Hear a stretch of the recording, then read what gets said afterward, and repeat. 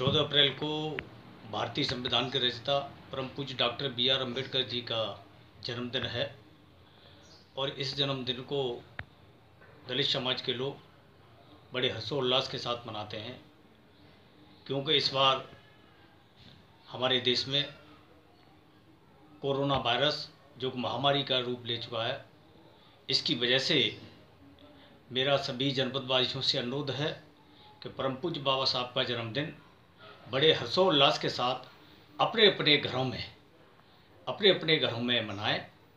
बाहर ना निकलें और शाम को अपने घरों पर मोमबत्ती, कैंडल, दीपक जलाएँ।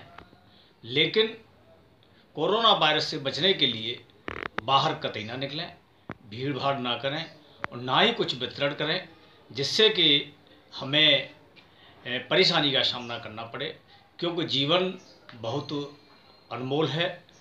इससे जीवन को बचाए रखने के लिए हमें ये प्रतिज्ञा लेनी होगी कि कोरोना वायरस को से बचने के लिए हमें इससे ये सारे इंतज़ाम करने पड़ेंगे और हमारी ये प्रतिज्ञा है कि परम पूज्य बाबा साहब का जन्मदिन हर वर्ष की भांति, इस वर्ष भी अपने अपने घरों में रह कर के बड़े हर्षोल्लास के साथ मनाएँगे और अपने बच्चों के साथ मनाएँगे।